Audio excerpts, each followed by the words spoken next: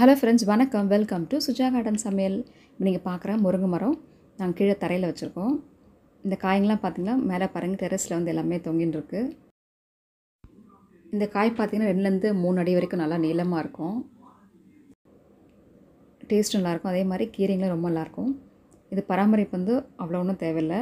ஆனால் நம்ம அரிசிகளோட தண்ணி சாதம் வடிக்கிற கஞ்சி தண்ணி எல்லாமே நம்ம இதுக்கு சேகரிச்சுட்டு ஊற்றிட்டு இருந்தால் உங்களுக்கு நல்ல காய்கள்லாம் கிடைக்கும். ஆரம்பத்தில் பெருங்காய கரைசல் தேமோர் கரைசல்லாம் வந்து நம்ம வேறு பகுதியில் ஊற்றிட்டு இருந்தால் அவங்களுக்கு அந்த பூக்கள் பூக்கும் போது வந்து அதெல்லாம் உதிராமல் இருக்கும்.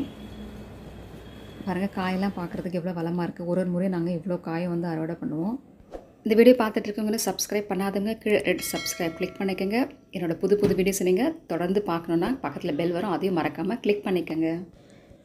இந்த முருங்கை மரத்தில் பார்த்திங்கன்னா பூச்சி தாக்கத்தில் வந்து இந்த கம்பளி பூச்சி தான். இதனாலே நிறைய பேர் வந்து மரம் வைக்கிறதுக்கே ரொம்ப யோசிக்கிறாங்க. அவ்வளோ கொடூரமானது இது. அந்த பூச்சி மேலே இருக்க சின்ன சின்ன ரோமங்கள் வந்து நம்ம கைகள் மேலே பட்டாலுமே அந்த இடம் உங்களுக்கு சிகப்பாகி வந்து ரொம்பவே தண்டாயிடும்.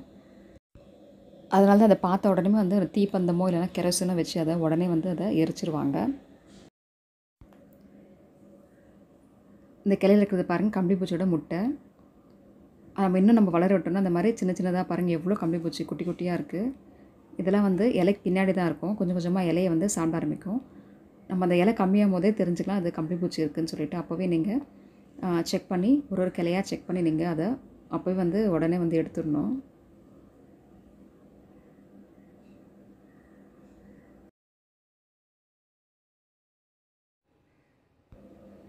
வளர்ந்ததுக்கப்புறம் பாருங்கள் இந்த மாதிரி எல்லா கிளையிலையும் உங்களுக்கு அப்படியே அடர்த்தியாக படர ஆரம்பிக்கும். ஒரு நாளும் உங்களுக்கு ஒரு ஒரு கிளையிலையும் வந்து ஃபுல்லாகவே ஸ்ப்ரெட் ஆகும். அப்போல்லாம் கெரசினை வந்து மேலே ஊற்றி விடுவாங்க. இப்போ நம்ம கெரசின் தேடி எங்கேயும் போக முடியாது. இன்னொன்று தீப்பந்தம் வச்சு அந்த தீ நெருப்பை காட்டுவாங்க. அது வந்து நம்ம மரத்துக்கு கொஞ்சம் பாதிப்பு.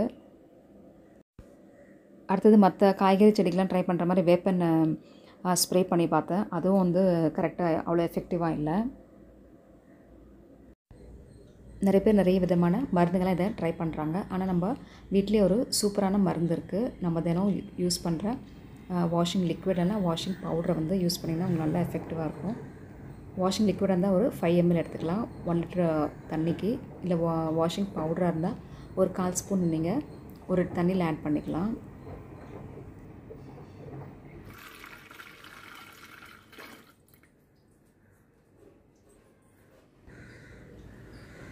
தண்ணி ஊற்றுனதுக்கப்புறம் நீங்கள் நல்லா அந்த ஸ்ப்ரே பாட்டிலை வந்து நல்லா ஷேக் பண்ணிக்கணும். ஒரே ஒரு கம்பளி பூச்சி மரத்துலேருந்து எடுத்து வந்திருக்கேன். அதை வச்சு ஒரு டெமோ பார்க்கலாம்.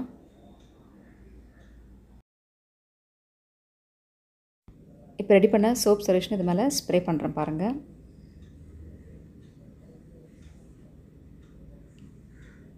எங்கேயுமே வந்து அதால் நகர முடியாது.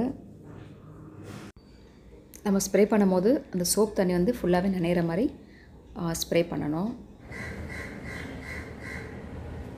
ஒரு பத்து நிமிஷத்துக்கு அப்புறம் பார்த்திங்கன்னா அந்த கம்பளி பூச்சி வந்து செத்து போயிடும்.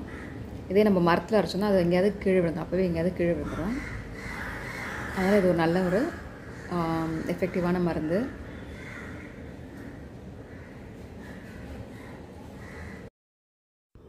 இந்த சோப் பவுடர் பார்த்தீங்கன்னா பூச்சி இருக்கும் போது அடிக்கணும்னு இல்லை.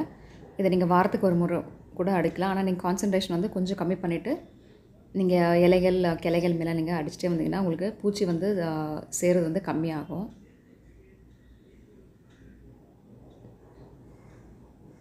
இந்த பூச்சிக்கு வந்து மற்ற செடிகளுக்கு வந்து பாதிப்பு உண்டாகும். அதனால் வந்து அப்பப்போ நம்ம அதை செக் பண்ணிகிட்டே இருக்கிறது ரொம்ப நல்லது. இப்போ பாருங்கள் அதே லிக்விட் வச்சு இந்த கம்பளி பூச்சி மேலே நான் ஸ்ப்ரே பண்ணுறேன்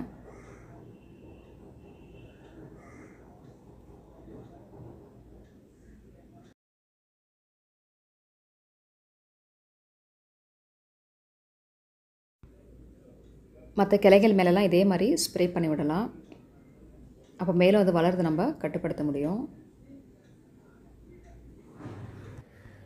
ஒரு ஆஃப் அன் ஹவருக்கு அப்புறம் பார்த்தா எல்லா பூச்சியுமே உங்களுக்கு இறந்துருக்கும்.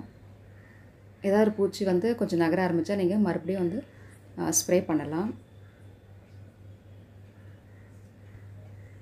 தொடர்ந்து இந்த சோப் போட்டே நம்ம அடிச்சிட்டே வந்தோம்னா எந்த ஒரு பூச்சியும் இல்லாமல் முருங்கை மரம் பார்க்குறதுக்கு ரொம்பவே சூப்பராக இருக்கும்.